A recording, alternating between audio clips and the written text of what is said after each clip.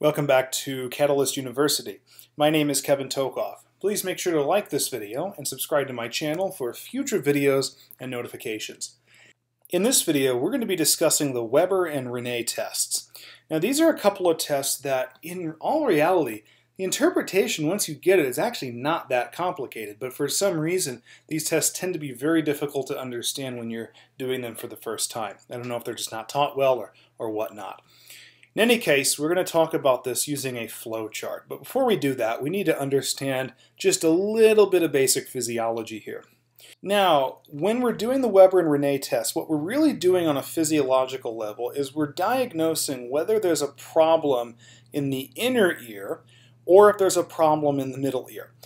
The first area is in the middle ear in pink. Now in the middle ear, remember we have four structures that transmit sound waves uh, into the inner ear. Those are, in order, the tympanic membrane, or the eardrum, as we might call it, the malleus, the incus, and the stapes. And the latter, latter three there, malleus, incus, and stapes, those are our auditory ossicles. And so if you have some kind of damage to the tympanic membrane or the auditory ossicles, that can result in hearing loss.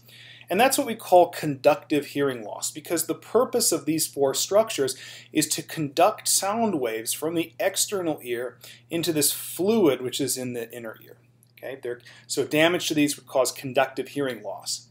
Now, in the inner ear, if we get microscopic enough, we've got this organ of Corti down here, or the spiral organ.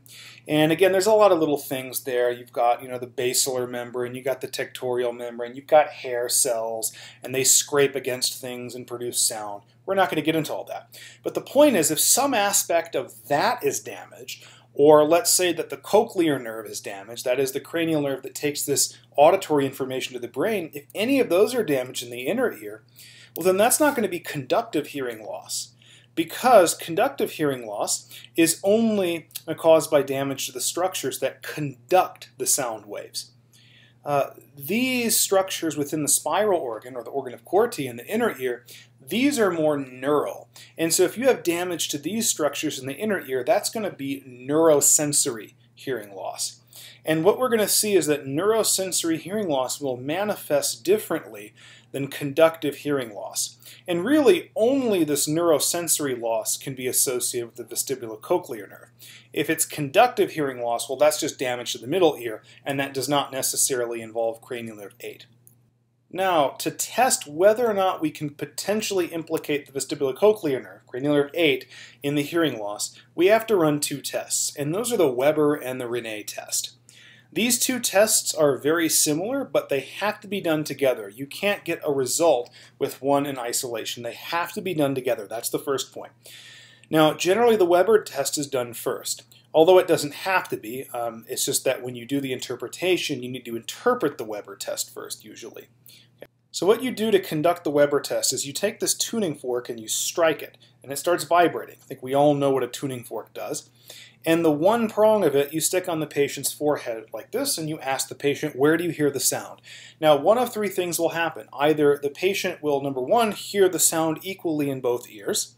That's a possibility. Number two, it will what we call lateralize to the left ear. Or number three, it'll lateralize to the right ear. When we say lateralize, we just mean that whatever side it lateralizes to, uh, they hear it better on that side. So for example, on this side, if the patient uh, hears it better in the left ear, we would say that the sound lateralized left. Okay, so hopefully that makes sense. That's the Weber test. We'll talk about the flow chart in a minute. For the Rinne test, what you do is, again, you strike the tuning fork, let it start vibrating, and again with that prong, you do this first. I don't know why this is on bottom to be honest, but you actually put the one prong right on their mastoid process. That's a bony projection directly posterior to the ear.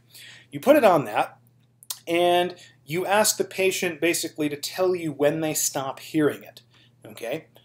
And let's suppose you do this, you strike the tuning fork, it starts vibrating, you stick the one prong right over their mastoid process, and then they say at some point, I, I don't hear it anymore.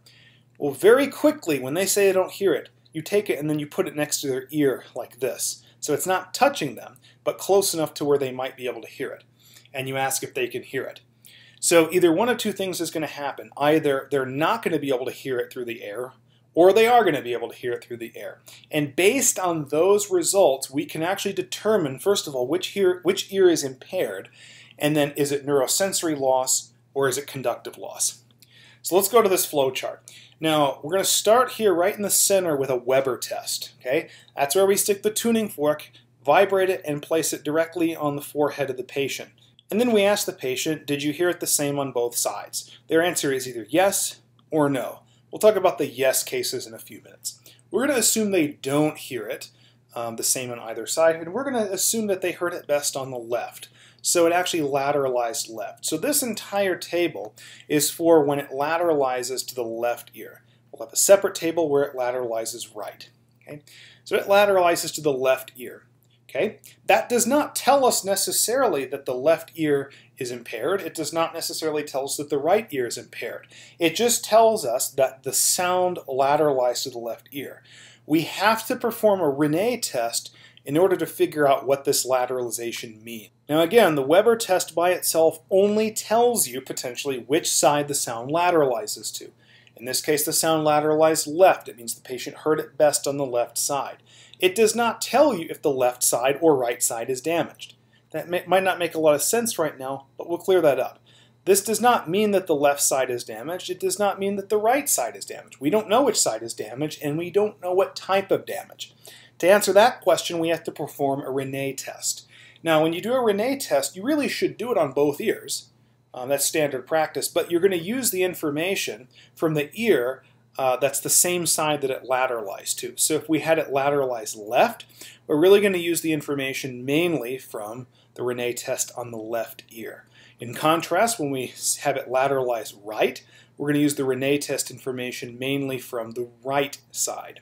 Okay, So hopefully that makes sense. So we perform the Rinne test. Okay? So we get that tuning fork, we strike it, it vibrates, we put the one prong on the mastoid process, and we ask the patient to tell us when they stop hearing it. As soon as they stop hearing it, very quickly, you then put the tuning fork and just move it next to the ear. It still should be vibrating, okay? But um, they're either going to hear it or they're not. If they do hear it in the air after you move it next to the ear, that means that their air conduction is working better than their bone conduction. We're going to say air is better than bone. But if they don't hear it here, that means that air conduction is worse than bone conduction, or we could say bone conduction is better than air conduction. Let's see what we can do with that. So we perform the Rinne test, we're going to use the information from the left ear, and either one of two things happens. Okay? Either that bone conduction is better than air conduction, or air conduction is better than bone conduction. Okay? Again, information for the left ear. If we had a case where bone conduction is greater than air conduction, that would be a situation where we stuck that tuning fork right here on the mastoid process. They told us when they stopped hearing it. Then we move it next to their ear and they didn't hear anything. That means that the bone conduction is better than air conduction. Air conduction isn't working too well. So bone conduction is better than air conduction. What that means is that they have conduction loss on the same side as the lateralization. So if it lateralized left with the Weber test, and you perform a Rinne test, and bone conduction is greater than air conduction, that means that conduction loss occurred on the same side. It's on the left side. Now in contrast, if air conduction is better than bone conduction, that means after you removed this from the mastoid process and you stuck it by their ear, they heard something. They heard the vibration. In that case, air conduction is better than bone conduction. That means you have neurosensory loss on the opposite side. Okay? So neurosensory loss on the right side, the opposite side that it lateralized to. Okay, and so not only does this tell you which side of the which which ear, left or right, there's loss on, but it tells you what type of loss. And again, the main thing to realize with this, and this is one of the confusing aspects, I think, you cannot use these results independently. You do a Weber test, and then you also have to perform a Rinne test. Okay. Now let's do the same thing, but we're going to do it for the right side. Okay, so again, we suspect a person has hearing loss of some kind. We do a Weber test. So we take that tuning fork, vibrate it, put the one prong right on the forehead, and ask where they hear the sound. In this case, it lateralizes right. That means they heard it better on the right side. Then what we do is we perform the Rinne test. Okay, so again, that test, we vibrate it. The tuning fork put it on their right mastoid process. I know this is their left, but we put it on their right mastoid process. Then we ask them when they stop hearing it. They tell us, and then as soon as they tell us they stop hearing it, we put it next to their right ear, and we determine whether or not they hear it or not. So same kind of thing as what we just did. So sound lateralized right, perform a Rinne test, and use the information from the right side. Again, these are the same. And one of two things happens for that right ear. Either bone conduction is greater than air conduction, or air conduction is better than bone conduction. If bone conduction is better than air conduction for the right ear, that again means that when you took the tuning fork off of their mastoid process and put it next to their ear, uh, they couldn't hear it. Okay, they couldn't hear it. Bone conduction is better than air conduction. That means they have conduction loss on the same side as the lateralization. So because it was right lateralization, conduction loss is on the right side. Now, if air conduction is better than bone conduction, that means that when you removed the tuning fork from the mastoid process, put it next to their ear, they could hear it. So air conduction is working just fine there, and it's better than bone conduction. That means that you have neurosensory loss on the opposite side of the lateralization. So lateralization went to the right, so this is neurosensory loss on the left side. Okay, so again, same thing except we flipped the right ear. And again, you can really use one flow chart for these, but I thought it would be useful really to cover both ears in the case where you have lateralization left and then lateralization here to the right. Now the final thing to cover here is really what happens when you do the Weber test, and it's really the same on both these slides. Uh, you do the Weber test, put the tuning fork on the forehead, ask them if they hear it the same on both sides, and the answer is yes. There's no difference between the left and the right. In this case, there is no lateralization. It's medial, so it's no different between left and right. Okay, um, That does not necessarily mean, though, that there's no hearing loss. So we still do a Rinne test, and this time we have to do it on both sides.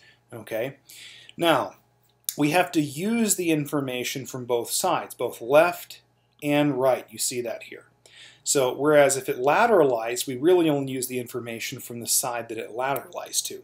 But when there's no difference between the left and the right, so it did not lateralize, and we do the Rinne test, we have to use the information from both sides. And one of the most common things that'll happen is that for both the left side and the right side, bone conduction is better than air conduction. Well, what do we know from up here? Well, when bone conduction is greater than air conduction, that means that we have conduction loss, right? However, because there was no difference between uh, the two signs in the Weber test, that means that both ears are the same. So if there's conduction loss, that means it's symmetric conduction loss. So both the left ear and the right ear both have conduction loss. So hopefully that makes sense. Now in the other case, again, we're going to use the information from both the left and right sides from the Rinne test. So if air conduction was greater than bone conduction, this actually is inconclusive. Okay? It could mean one of two things. It could mean that there's symmetric neurosensory loss on both sides, or it could mean the individual's actually normal. Okay? But let's assume that it's pretty obvious the person has hearing loss. Okay, usually you can diagnose whether or not someone has hearing loss in the first place. They usually can't hear people. So if they do have hearing loss, which is why we usually assume there's some at first, then when air conduction is greater than bone conduction, it's neurosensory loss and it's symmetric on both sides. And that should make sense because up here when air conduction was greater than bone conduction, we had neurosensory loss. So uh, for both the left and right sides, if air conduction is greater than bone conduction, then we have symmetric neurosensory loss on both sides.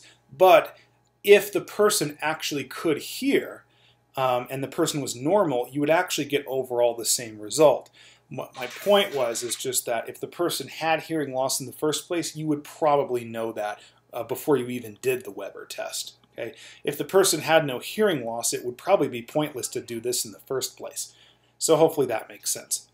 Now, for the Rinne and Weber test, you can get much more complicated than this. You can get all sorts of combinations of these, um, and maybe in a future video we'll cover that. But for now, this is really the major stuff that you need to understand. Um, you need to be able to follow this kind of flow chart. And if you can follow this, I guarantee you're going to get the right answer on every single test you do. So even though this video was a little bit longer, hopefully it was easy to follow and hopefully it made sense to you and you now understand how to analyze the results of the Weber and Rinne tests. Please make sure to like this video and subscribe to my channel for future videos and notifications. Thank you.